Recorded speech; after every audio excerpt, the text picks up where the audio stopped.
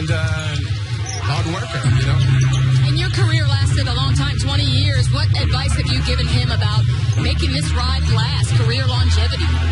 Well, Joakim is very focused,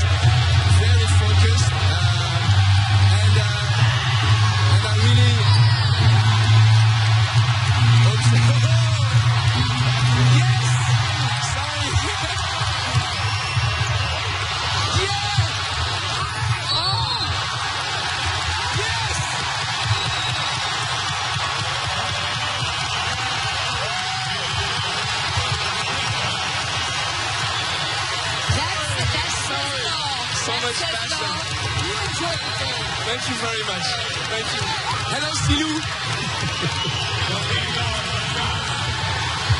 Wow, the emotions of the dad. That was a great interview right there. He cheers like he played. With again so much emotion. At both ends of the floor we saw. Well, this is the versatility, giving Chicago the ability to switch a lot of these pick and rolls, being able to contain that first move by James and then contest late.